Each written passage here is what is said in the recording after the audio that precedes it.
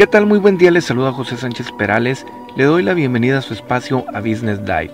El día de hoy es viernes 5 de mayo de 2017. Lo invito a que hagamos contacto a través de Twitter en arroba Sánchez Perales y en Facebook me pueden encontrar con mi nombre. Este es un resumen de las principales notas empresariales, económicas y financieras. La Comisión Federal de Competencia Económica impuso multas que en conjunto suman 1.100 millones de pesos a Profuturo GNP Afore, Afore Sura, Afore 21 Banorte y Principal Afore, y 11 personas físicas por prácticas monopólicas en el mercado de los servicios de administración de fondos para el retiro de los trabajadores. Jack Ma, fundador y presidente de la compañía china de comercio electrónico Alibaba, dijo que planea iniciar operaciones en México en el marco de una reunión con el presidente Enrique Peña Nieto.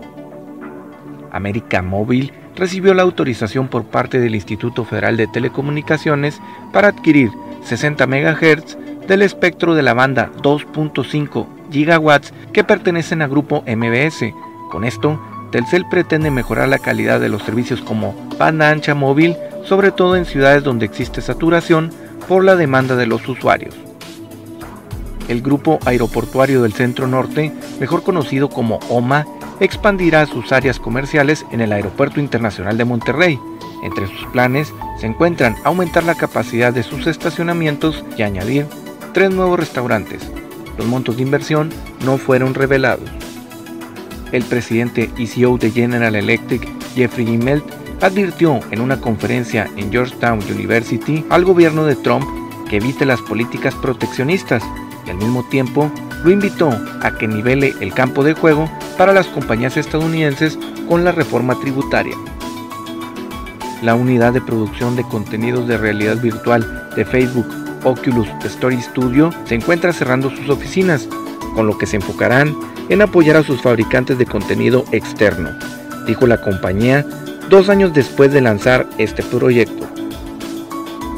Cerveceros de México destacó que en 2016 la producción de cerveza en el país creció 8.1% a tasa anual, a 105 millones de hectolitros, con lo cual superó a Alemania y se ubicó como la cuarta nación del planeta en el ranking de producción de la bebida. El dólar terminó la jornada en 19.15 pesos, el euro por su parte en 20.80 pesos, el precio de la mezcla mexicana en 42.99 dólares por barril y el IPC de la Bolsa Mexicana de Valores concluyó en las 49.099 unidades, lo que representó una baja de 0.99%. Muchas gracias por su atención. Se despide su amigo José Sánchez Perales. Si le gustó esta información, suscríbase a este canal de YouTube y comparta este video. Que tenga un excelente fin de semana. Nos escuchamos el lunes.